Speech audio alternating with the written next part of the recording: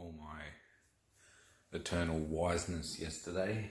Took it out, a little bit rough, bit of wind, and I managed to nearly snap the transom bracket.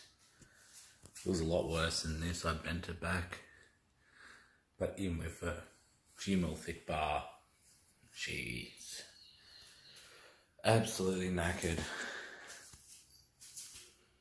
And also the twist in it. The whole engine's on the side there. So it was definitely time for an upgrade and took me about half a day to redesign this. Now, the zip ties, as you said, just because I zip tied everything before it got welded and that. Thanks a lot to Brad Matthews. Um, he owns a panel beating shop just up at Urangan. Um, wicked bloke, help you out with anything uh, and quality work. Like this is just a, a mock up to him, and the effort he put into it was just wicked. You know, he didn't have to do any of that. I was going to do it myself, and um, top bloke. So basically, it's five five mil thick steel, four mil thick steel, T piece. It's got a tube going through there for extra support. Um, so these here the torsion bars I've made to adjust it from side to side, but also to stop the flex from turning backwards.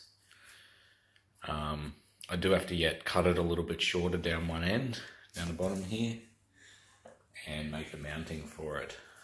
But I will be absolutely astonished if this thing even bends or breaks. And a nice coat of black paint would be good for it too. The only downfall is I think it's about probably about double the weight. I will weigh them up and check. But um, yeah, this is, definitely the way to go when putting a more powerful engine on the back of a kayak. Um, yeah, that's that's about it. So yeah, it was a pretty disastrous day yesterday. I nearly lost the engine, but I do always hook up a safety support that I'll mount down to here to the actual motor itself in case of those rare causes where the motor wants to jump off. But I'm thinking, you know, this is going to work 100% and be tough enough. And the annoying cat's having a suss at it. But yeah, if there's any um any guys you reckon I can make improvement or anything like that, of course it's going to be all painted, definitely in black. I'll clean that up today and give it a heap, give it a nice good coating all around um, yeah, leave a comment down below. Thank you.